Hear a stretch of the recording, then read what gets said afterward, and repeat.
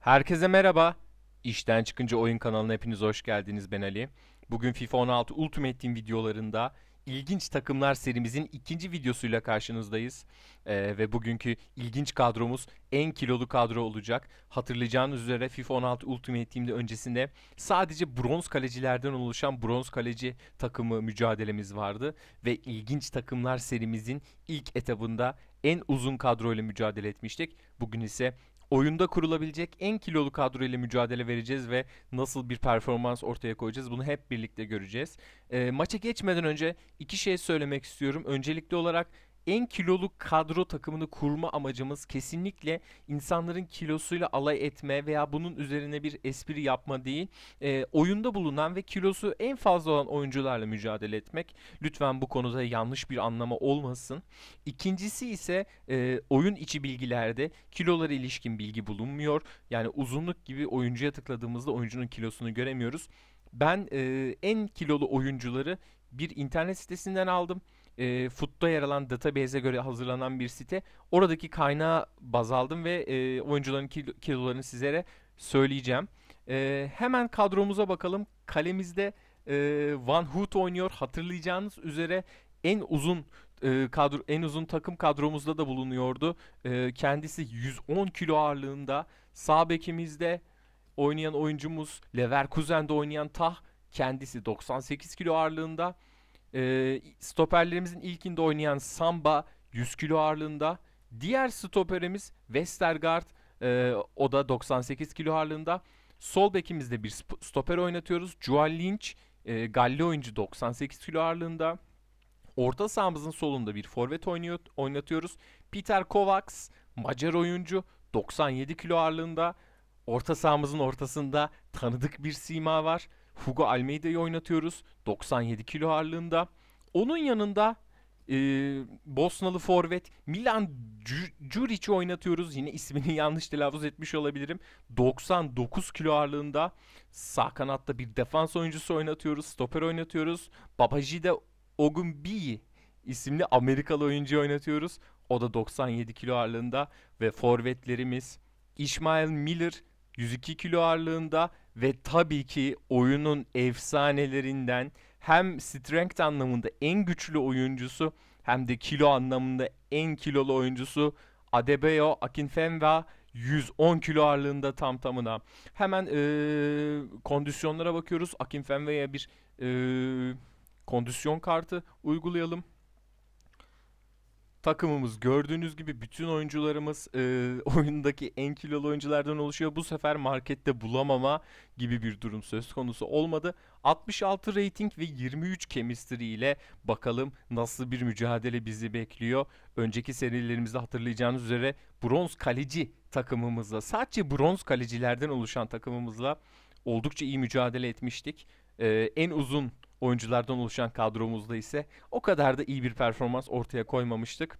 Bakalım en kilolu oyuncular nasıl bir mücadele ortaya koyacak. Tabii ki en kilolu oyuncular aslında oyunun strength anlamında en güçlü oyuncuların da başında geliyor ama buradaki 11 oyuncunun tamamı bir listeleme yapılırsa ilk 11 sırada gelmiyor.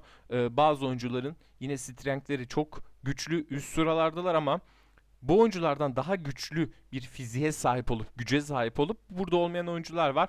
Örneğin İbrahimovic oyunun ikinci veya üçüncü sırasında yer alıyor en güçlü oyuncu anlamında, strength anlamında fakat kilo anlamında e, burada yer almıyor kendisi.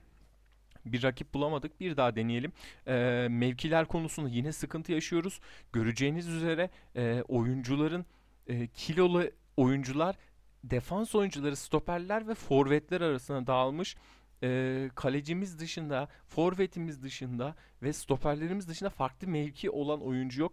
Bir rakip bulduk. İn, e, Milan'ın güzel bir yeşil formasıyla oynuyor rakibimiz. Milan logolu İtalyan olduğunu tahmin ettiğimiz ve İtalyan ligine sahip gerçekten güzel bir kadro. Hamşik, e, Morata var, Palacio var, Strutman var, Medel var, Lichtsteiner var. Oldukça güçlü bir kadro. Bakalım bizi neler bekliyor fiziki olarak da e, Akit Ferman'ın gerçekten inanılmaz, inanılmaz bir oyuncu. FIFA 16'nın, FIFA 16, 15'in, 14'ün e, en bilinen, en meşhur oyuncularından birisi. Hem güç anlamında hem kilo anlamında e, en üstte yer almasından ötürü efsaneleri arasında yer- e, sayılıyor bu oyunun.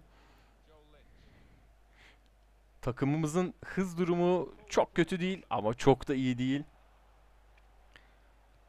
Yani sahada oyuncuların kilo anlamında çok ayırt edici bir özellikleri olduğunu görmüyoruz. Akinfenva dışında ama çok yapılıyız. Oldukça yapılı bir takımız. Görüyorsunuz. Hem boylar uzun. Van Hood iki maçtır oynuyor. Ee, hem boylar uzun hem kilolar fazla. Kısa oyuncumuz da var. Ama Akınfenva gerçekten görüntüsüyle sahada fark yaratıyor. Keşke oyun e, oyuncuların kilo bilgilerine dair e, bir seçenek de sunsaymış bize. Daha güzel olurdu diye düşünüyorum. Bu arada Van Hood saçma bir gol yiyorduk. E, şu ana kadar yaptığımız maçlarda henüz bir galibiyetle veya beraberlikle tanışamadık. Rakibimizin maçtan çıktığı bir mücadelemiz vardı. Bir galibiyet almıştık orada rakibimiz maçtan çıktığı için. Bronz kaleci takımı mücadelesinde. Onun haricinde henüz gol atma dışında bir başarımız yok. E, FIFA 16 Ultimate Team kadrolarımızda. Rakibimiz e, Serie A'nın güzel bir kadrosunu kurmuş. En iyi oyuncuları yok belki elinde ama yine de e, gayet e, iyi bir kadrosu var. Hele hele bizim kadroyla kıyaslanınca daha iyi bir kadro kadrosu olduğunu söylemek kesinlikle doğru olacaktır. Hugo Almeida Beşiktaşlı arkadaşların muhtemelen çok da iyi anmadığı, iyi hatırlamadığı özellikle Dembaba ve e, Mario Gomez'den sonra şu an Rusya'da oynuyor yanlış bilmiyorsam. Bu arada etkili girdik içeri. Kovacs'da top. Kolay kolay oyuncularımızın ikili mücadeleleri kaybetmeyeceğini düşünüyorum. Tujuric orada bize bir penaltı ikili mücadelelerde topu alırken bile rakibi yerde bıraktı oyuncularımız. Tah mesela oldukça kısa boyluymuş ve kilosunu göstermiyor. 98 kilo olmasına rağmen Akınfenva ile gerçekten oynamayı çok merak ediyordum, çok istiyordum. Bu maçta e, bu şansı yakalamış oldum. Tabii Akınfenva boyutuna rağmen, e, gücüne rağmen çok yavaş bir oyuncu. Forvet olmasına rağmen kendisini tanımayan, bilmeyen arkadaşların oyun dışında gerçek videolarını da izleme, izlemelerini tavsiye ederim. İngiltere'de alt liglerde Wimbledon takımında oynuyor Akınfenva şu anda ve çok enteresan bir oyuncu. Çok enteresan bir forvet, bir fenomen ve top onda bir şut çıkarır mı? Şut gücü de yüksek galiba. Bu arada gole Hugo Almeida ile çok yaklaştık ama Out'a gidiyor top. Evet 23 dakika geride kaldı. Ee, şu ana kadarki galiba en güçlü kadromuz. Ee, Morata bu arada güzel vurdu ama şans ya biz, bizden yana. Ee, en uzun oyunculardaki kadar bir e, tutukluk yok oyuncularımızda. Evet kiloları fazla ama uzun oyuncular daha yavaştı bu kadroya göre. Güzel bir mücadele veriyoruz. Açık oyun oynuyor iki takımda. Özellikle e, bizim tabi sadece forvet ve stoperlerden oluşan bir kadromuzun olması kimyamızı da çok etkiledi. Pozisyonda belki oyuncular olsa ülke e, lig tutmayacaktı belki ama daha yüksek kimyalı bir takımla mücadele etme şansını bulabilecektik. Biz rakibimize şu ana kadar daha fazla açık alan verdik. Ama e, mücadele anlamında gerçekten ayağı yere çok çok sağlam basan güçlü oyuncular olmamızın da avantajını çeşitli iki- ikili mücadelelerde kullanıyoruz. Samba da e, oldukça e, kilolu bir oyuncu 100 kilo olmasına rağmen ya tabii bu kilolar futbolcular için aslında çok fazla kilolar değil. E, çok handikaplı durumlar değil. Bir Akın Fenva'nın boyu da biraz kısa galiba o yüzden 110 kilo e, evet bir futbolcu için ağır bir rakam görüyorsunuz gerçekten bir fenomen. E, muhtemelen modellemesi de Akın Fenva'nın gerçek yani e, bazı oyuncuların biliyorsunuz FIFA e, gerçek modellemelerini yapıyor. Akın Fenva da bir fenomen olduğu için onu bu arada Akın Fenva çok iyi bir top kaptı. Yıkılmıyor Akın Fenva. Hiçbir oyuncumuz yıkılmıyor. Akın Fenva etkili şutları da var. Ee, bitiriciliğine bakmadım maçtan önce ama bu videodan sonra da tabii ki ilginç takımlar serimiz devam edecek. Ee, en uzun takım, en kilolu takım gibi ilginç takımlar kurmaya, e, maçlar yapmaya sürdüreceğiz. Şu anda ben bu maçtan e, puan veya puanlar alma ümidinde olduğumu söyleyebilirim. Westergaard en uzun takımımızda da yer alıyordu ama yedekler arasındaydı. Ee, ilk 11'de oynamamıştı Westergaard.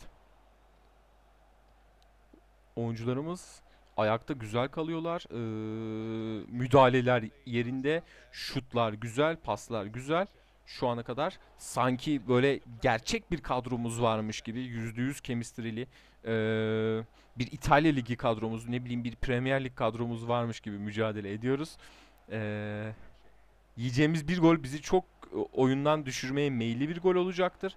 Ama e, atacağımız bir golde devamının gelmesi ama amacıyla e, bize çok önemli bir moral motivasyon verecektir. Gördüğünüz gibi oyuncularımız hala ayakta kaldı. Tah e, özür diliyorum. Tah değil galiba. Yok tah değil. Evet. E, Ogun Biyi defans oyuncumuz İlk 45 dakika 0-0 bitti. Şu ana kadar galiba e, ilk kez ilk yarıyı 0-0 tamamladık bir maçımızda. İstatistik anlamında da rakibimizin önündeyiz. 4 şut çekmişiz. Rakibimizin 2 şutu var. Bizim 3 şutumuz kaleyi bulmuş.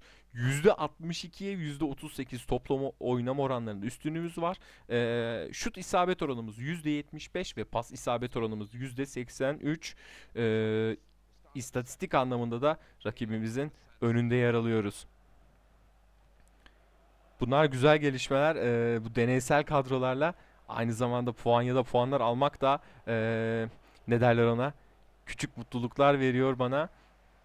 Tabii ki önceliğim keyifli bir oyun. Oyundan keyif almak, ee, zevk almak, güzel pozisyonlar yakalamak, enteresan pozisyonlar yakalamak. Bunlar birincili öncelik. İkincili önceliğimiz gol atmak ve tabii ki en son önceliğimiz de puan ya da puanlar almak. Hugo Almeida ile gidemedik. Orta sahada oynatıyoruz. Onun da hızı oldukça düşük bir oyuncu. Beşiktaş'ta aslında çok da kötü bir oyuncu değildi Hugo Almeida ama tabii ki e, çok sayıda gol kaçırınca bir forvet çok göze batıyor. Bu per bu arada güzel bir gol attı Borja Valero'yla. Kaleyi bulan ilk şutları gol oldu. Hemen takımımızı ultra attackingle hücuma alalım. Oynayan biz olduk bu sefer. Golü yiyen de biz olduk ama. Bakalım çevirebilecek miyiz maçı? Kalecilerle bile gol bulup bu oyuncularla gol bulamazsak gerçekten yazık olacaktır diye düşünüyorum. Ogunbiyi oldukça beğendim. Bronz oyuncu stoper ama gerçekten iyi bir performans sergiledi. Oyunlarda FIFA Ultimate Team'de çoğu oyuncunun bronz ve gümüş oyunculara çok ön yargıları var. Daha önceki videolarda da bahsettim. Arada inanılmaz performans gösteren gizli kalmış yetenekler var. Ve oyuncularla oynamak bana çok büyük keyif veriyor. Bu arada gole gidiyoruz, gole gidiyoruz. Bir penaltı verir mi? Biraz oyuncumuz kendisi düştü gibi. O yüzden penaltı yok gibiydi. Tujuric o da bir forvet tahla, bir şut. Rakibimiz skoru koruma amaçlı iyi defans yapıyor. Evet bir faal yaptık. 60. dakika 1-0 gerideyiz. Kötü oynamıyoruz ama kilidi nasıl açacağız bilmiyorum. Bu defansı nasıl geçeceğiz bilmiyorum. Çünkü e, yorgunluklar başlayacaktır. Çok da hızlı bir kadromuz olmadı. Hiç kuşkusuz doğru bir gerçek. Akın Fenva'yı e, daha fazla kullanmamız lazım. Bir offside olur mu acaba? Evet offside verdi hakem. Yukarıda e, sabit durduğunu gördüm. Evet çok kötü başladık. Çok kötü başladık. Çok büyük bir hata. Tahmin ediyorum pas atacak oyunculardan birine. Evet ikinci golü de ağlarımızda görüyoruz. Büyük bir hata yaptım e, rakibe ellerimle armağan ettim bu golü. Acaba bütün takım artık hücuma alsam mı? Zaten kaybedecek bir şeyimiz yok. O şekilde yapalım.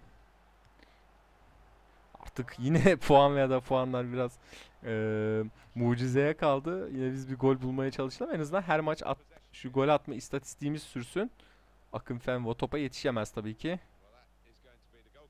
Akın Fenva gerçekten modellemesi çok başarılı olmuş. Gerçek olduğunu tahmin ediyorum yani gerçek modelleme yapıldığını tahmin ediyorum.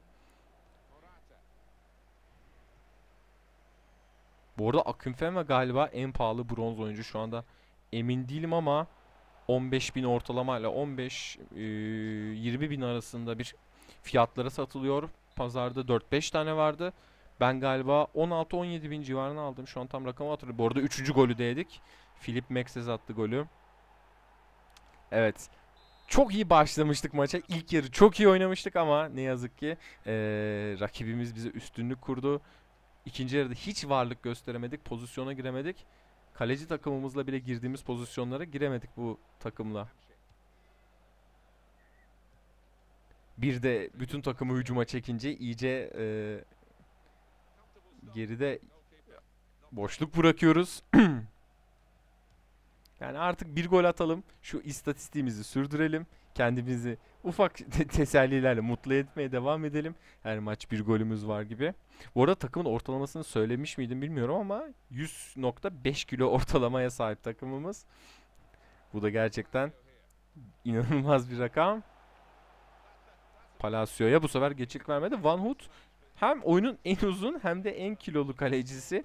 Bir kaleci daha var aynı eee, kiloda. Bu arada bir gol olsun. Akın Fenva ile atıyoruz golümüzü. Akın Fenva. İnanılmaz, inanılmaz bir görüntü. Ne kadar gerçekçi bir modellim olduğunu hep birlikte gördük az önce. Ee, ben aslında normal oynarken böyle golleri rakibime izletenlerden değilim. Ee, fakat burada oyuncuların modellemesini biraz görelim diye izletiyorum. Gol izletmek derken e, FIFA EA'in yaptığı çok güzel bir şey var. Burada biz dördüncü golü de yedik Palacio'yla. E, artık zaten maçı çevirme ümidimiz yoktu. Biz golümüzü attık. Gerisi teferruat. E, EA'in yaptığı şöyle güzel bir şey var. Geçen oyunda FIFA 15'te ve öncesinde gol tekrarları 3 kez falan oluyordu. Hatta onun sonrasında da uzunca bir süre oyuncunun e, sa- e, santra alanına dönüşü, kendi yarı alanına dönüşü gibi uzun bir süre geçiyordu ve öne geçen takımlar bu 3 kez izletilen gol tekrarlarıyla rakiplerini biraz kızdırıyorlardı. E, EA bu oyunda güzel bir şey yaparak gol tekrar sayısını e, düşürdü. Galiba bir kez izletebiliyorsunuz. Bu iyi bir şey çünkü hem e, oyunların süresi kısalmış oldu. Yani daha çok oyun daha az tekrar şeklinde ilerlemiş oldu. Hem de bu tarz e, gol bu arada bir penaltı yaptık.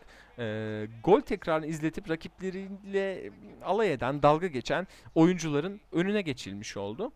Bu iyi bir gelişme oldu. Burada da penaltı izlettiriyor rakibimiz bize. E, Samba yaptı galiba. Bakalım.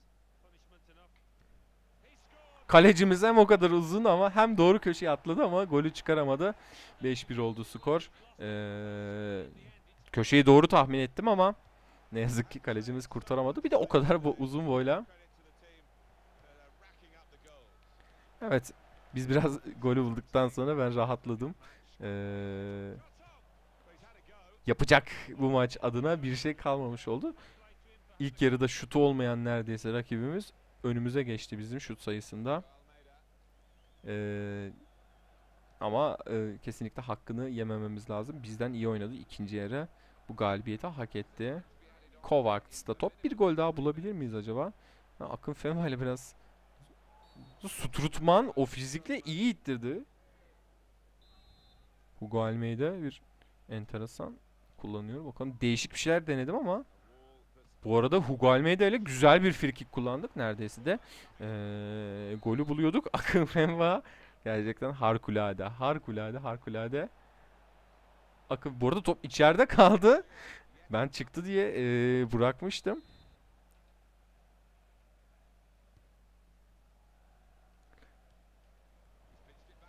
Evet, e, kornerden de e, bir pozisyon bulamadık. Altıncı golü yiyecek miyiz acaba? evet, altıncı gol de geliyor.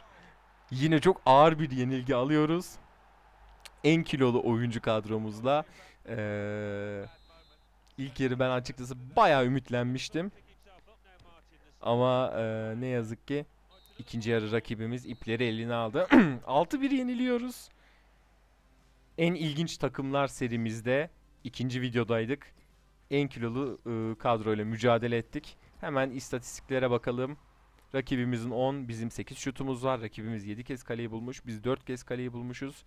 Yine böyle küçük bir teselli olarak %55'e %45 toplama oynamalarda öndeyiz. Ve pas isabet oranımız %83. Bu da küçük bir teselli olsun.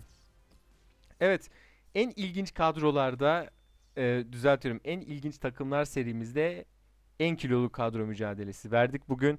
E, bu serimiz devam edecek. Oyunda kurulabilecek en ilginç kadroları kurmaya çalışmaya devam edeceğiz. E, ilginç maçlar yapıyoruz, değişik maçlar yapıyoruz, e, deneysel maçlar yapıyoruz. Umarım keyif almışsınızdır. E, kanala abone olmayı, videoyu beğenmeyi lütfen unutmayın. Hepinize iyi günler diliyorum. Hoşçakalın.